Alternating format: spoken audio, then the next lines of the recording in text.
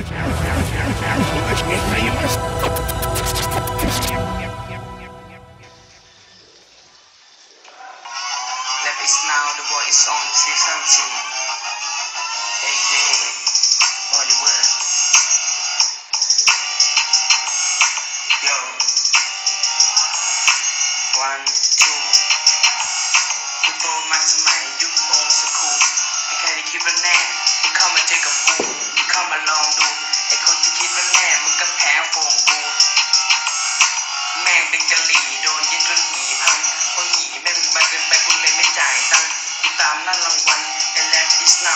กูคือโอลิเวอร์ที่จะออกมาโชว์พาวไอสัตว์มึงมันลาวในเวทีแต่แล้วว่าของพวกมึงกูเห็นสักทีมึงยังติดก่อนในยามนอนกูมาแบบฟรีสไตล์แล้วก็มาส่งควายนอนไอสัตว์เรามึงเหมือนเศษน้ำที่ไม่มีวันหยุดมึงจะทำอะไรก็คิดทำให้มันสุดมาแต่ฟักเกอร์ come to the battle.